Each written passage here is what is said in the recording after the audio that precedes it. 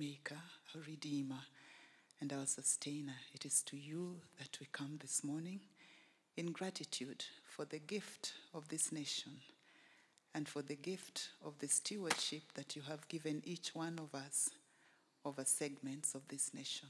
We